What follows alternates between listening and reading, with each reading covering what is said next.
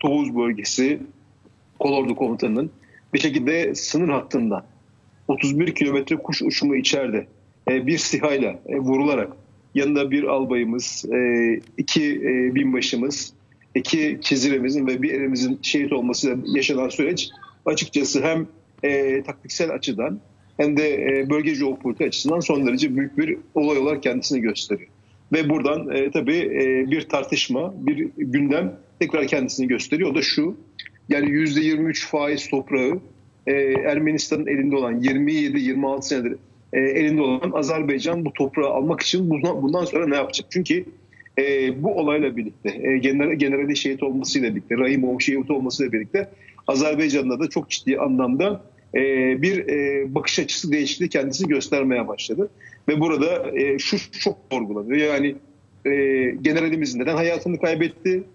E, ülkenin içerisindeki millileşme ile ilgili çabaları kim e, engellemeye çalışıyor?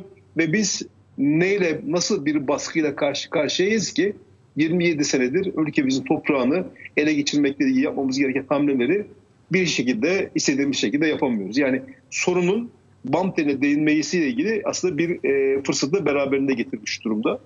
E, bunun ben çok önemli olduğunu düşünüyorum. Çünkü e, Rahimov e, Azerbaycan'daki e, Türk ekolünü temsil eden bir generaldi ve Türkiye'de eğitim görmüştü. E, 20 e, e, April muharebelerinde yani 2016'da yapılan savaşlara katılmıştı ve e, çok az insana e, nasip olan bir şerefle yapmış olduğu mücadeleler neticesinde ortaya koymuş olduğu kahramanlık nedeniyle ismi sınır hattındaki, cephe hattındaki bir e, mevziye verilmişti. Yani karakola verilmişti. Orada e, yaşarken bu şerefe nail olmuştu. E, yaşa, bir tek o tepelerin alınmasında mücadele sırasında bazı e, tartışmalar yaşanmış. İstifa etmeye kalkmıştı ancak e, devlet başkanı bizzat Aliyev tarafından e, istifası geri çevrilmiş, istifasını geri alması söylenmiş ve e, bir üst beye e, getirilmişti. Toğuz'da görevlendirilmişti ve görevlendirilmiş oldu Toğuz'da. Bir şekilde e, yani bu, bu işi bilenler çok iyi bilirler. Onu anlatmaya çalışıyorum Sayın Hanım. Evet. Bir şekilde e, bir e, SİHA'nın e, kendi imkan ve kabiliyetiyle e, etkisizleştirmesi açıkçası e, uzun soluklu bir iş. Yani takip edecek, tespit edecek, analiz edecek ve ve te, teyzin neticesinde aldığı emir neticesinde vuracak. Ama doğrudan doğruya bir vuruş var. Bu e, kolordu komutanının e, bir şekilde yerinin tespit edilmesiyle ilgili son derece gizli bir süreç var, örtülü bir süreç var, şüphelerle gelişen bir süreç var. Zaten bunda da ilgili hem e, Sayın Aliyev'in hem İçişleri Bakanı'nın çok net açıklamaları var. Yani bu işte birilerinin parmağı varsa mutlaka ve mutlaka bulup çıkartacağız ve cezalandıracağız şeklinde. Tabii bu iş sürüldüğü iş sürüldüğünde ortaya e, çok farklı gerçekler de ortaya çıkacak. Öyle gözüküyor. Çünkü sonuçta hani ben orada görev yaptığım için çok rahatlıkla bu konuları konuşabiliyorum. Özellikle e, mücadele döneminde e, yani Karabağ Savaşı'nda orada görev yapmıştım. O, o, o kimyayı bilmenin vermiş olduğu rahatlıkla bu cümleleri kurabiliyorum.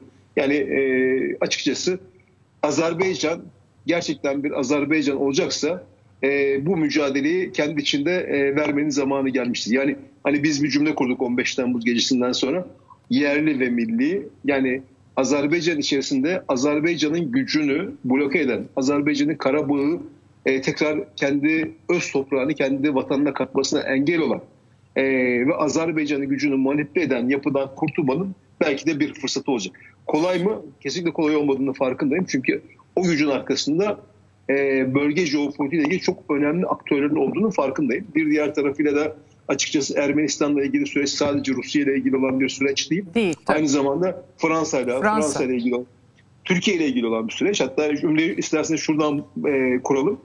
Karabağ Savaşı Türkiye için yapılan bir savaş. Yani Türkiye'nin Türk dünyasıyla bağını kopartmak üzere yapılan bir savaştı ve başarılmıştı. Yani e, o zaman e, Sovyetler Birliği dağılmış çok güçlü bir şekilde ama hamasi e, bir cümle kuruluyordu. Adriyatik'ten Çin Seddi'ne kadar. O onun tabii bu cümlelerin kurulması bununla ilgili bir toplumsal bilincin veya hedefin şekillenmeye başlamış olduğu böylesine bir evrede Karabağ Savaşı ortaya çıkmış ve Laçin Koridoru başta olmak üzere Karabağ ve 7 rayonun düşmesiyle birlikte Türkiye ile Azerbaycan'ın fiziki bağı ve daha sonrasında Türk Cumhuriyetleri olan bağ kopartılmıştı ve açıkçası o e, başlamadan oralarda kalmıştı. Evet. Şimdi bir bir paş bir bypass vardı. Ee, Gürcistan üzerinden gerçekleştirilmişti. Yani enerji nakilatları, karayolu ve demiryolu. Şimdi Toğuz'la tam o hattın üzerinde yani yaklaşık 15-20 kilometrelik bir aralıkta bir etki ortaya koysalar yine Azerbaycan'la bağın kopmasıyla ilgili bir risk kendisini gösterdi. Yani bu anlamda hem Azerbaycan'ın hem Türkiye'nin bu e, ortaya çıkan fiili durumu e, görerek e, jeopolitik anlamda bir e, işbirliği yapmaları gerekiyor ve bu sorunu kalıcı olarak çözmeleri gerekiyor.